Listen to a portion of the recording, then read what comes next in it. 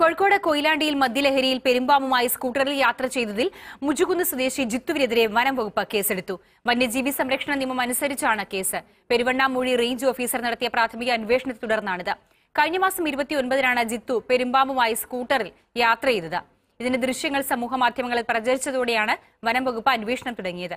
വഴിയരികിൽ നിന്ന് പിടിച്ച പാമ്പിനെ ജിത്തു കൊയിലാണ്ടി പോലീസ് സ്റ്റേഷനിൽ ഏൽപ്പിച്ചിരുന്നു. പാമ്പിനെ പിന്നീട് വനം വകുപ്പ് കൊണ്ടുപോയി.